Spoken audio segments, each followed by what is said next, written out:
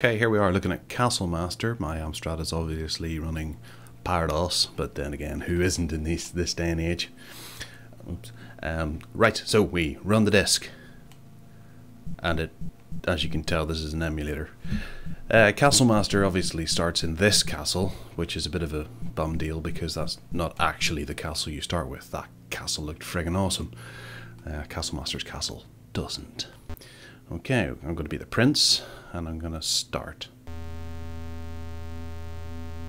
Highly convincing sound of a portcullis opening and we slowly move around.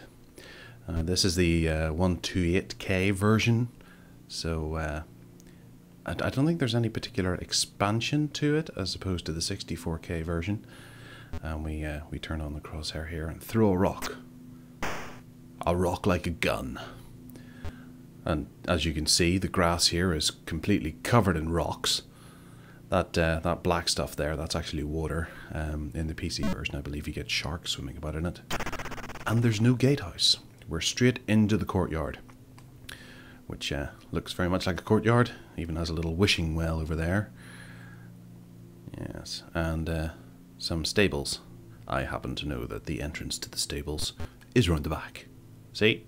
Secret there well, it's not really a secret. You can do that anyway.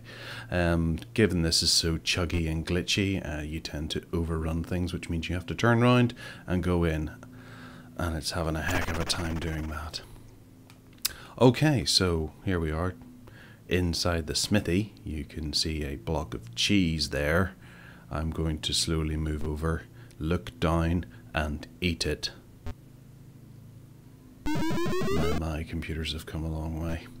And if we turn to the right here, we can see one of those big fan things. And if I look down and press the fan, nothing happens. However, in the 16-bit, if you press the fan, it blows and it turns that grey pool of water a different colour. I think it's glowing red in the PC version. And then it turns it grey to signify it's cooled. Oh, I've stepped over a hammer. Right, back out to the courtyard, into the thick of the action. You know, for its time, this is pretty radical. You know, these uh, these graphics were ultra realistic. I remember being mesmerized by them. You know, there were actual buildings you could walk in and out. Oh, it's a spirit. Okay, I've got to slowly turn around and throw a rock at it. Don't, don't worry not we're, we're okay. As you can see, the bar down on the bottom left has my strength on it, and uh, it's reduced a little. Just below that is the keychain. And uh, above that, there's like a, or above the the information bar, there's like a scroll. It seems to actually scroll, and it shows you the uh, another one. Oh, that's right. This is the mouse. Right, we'll get the mouse there. And dead. Oh, no, fire. That's the one. And the scroll seems to turn, signifying that time is running out. And to the right of that is a little eye that kind of tells you what you're doing. Um, if I look up and down, it looks up and down with me.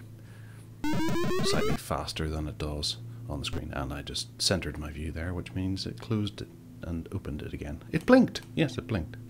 To the right of that is a nice pattern Okay, there's a secret passage in here, and it's a, it's a larder. They keep it behind the fire, just to keep children out, I guess.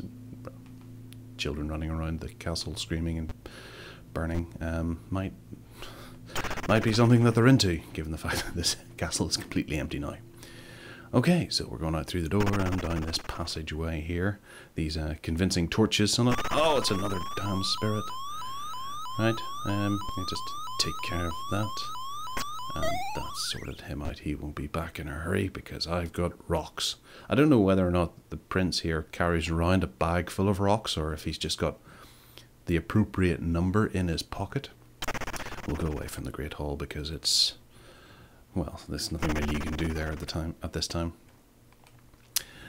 Yeah, the uh, the whole structure of the castle is different to the 16-bit version. Um, there's a whole lot that has been removed, which is a bit of a shame. but then I suppose you have to uh, fiddle about with bits and pieces like that in order to be able to get it onto the cassette or the the disc, the three-inch disc that this is on, double-sided. It's got the crypt on the other side, which is obviously the sequel. Castle Master, yeah, it was a follow-up to uh, Driller and Dark Side, were two of the previous previous um, Freescape games, um, and they released, of course, th uh, 3D construction kit, which allowed you to create your own Castle Masters. Um, very, very slowly, even slower than actually playing them. Okay, that's enough of that. I think I'll go to uh, Castle Master on the PC. This has been Gareth for ZoneTrippers.com.